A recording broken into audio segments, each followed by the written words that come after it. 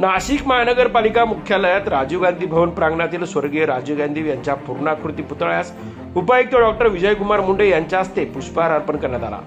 स्वागत कक्षाजवळही राजीव गांधी यांच्या प्रतिमेला पुष्पहार अर्पण करून अभिवादन करण्यात येऊन सद्भावना दिनानिमित्त जनसंपर्क अधिकारी यांनी उपस्थित अधिकारी कर्मचाऱ्यांना सद्भावनेची शपथ दिली. यावेळी मुख्य वित्त लेखा अधिकारी नरेंद्र महाजन आरोग्य वैद्यकीय अधिकारी डॉक्टर नितीन रावते उद्यान अधीक्षक विवेक बदाने उद्यान निरीक्षक किरण बोडके अर्चना खैरार राजू वर्मा नितीन गंभीरे हुसेन पठाण वीरसिंग कामे सागर पिटे किशोर अहिरे मनोज गायधनी भाऊसाहेब ताजनपुरे नितीन गाडगे यांचं अधिकारी कर्मचारी उपस्थित होते. माजी मंत्री डॉक्टर शोभा बच्चाव माजी नगरसेविका डॉक्टर हेमलता पाटील आशा तळवी आकाश छाजड लक्ष्मण दे दोत्रे स्वाती खैरे स्वप्नील पाटील राजकुमार जैप उद्धव पवार संदीप शर्मा बशीर हनीफ जावेद इब्राहिम भालचंद्र पाटील दर्शन पाटील यांनी यावेळी स्वर्गीय राजीव गांधी यांना अभिवादन केले.